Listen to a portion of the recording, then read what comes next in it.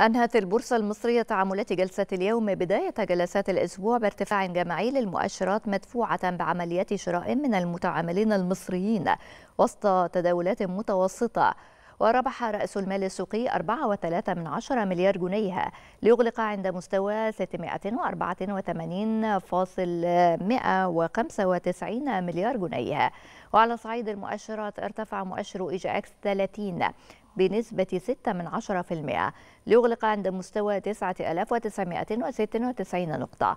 كما قفز مؤشر الشركات الصغيرة والمتوسطة EGX 70 متساوي الأوزان بنسبة 1.7 من 100% ليغلق عند مستوى 2288 نقطة. وصعد مؤشر EGX 100 متساوي الأوزان بنسبة 1% ليغلق عند مستوى 3138 نقطة.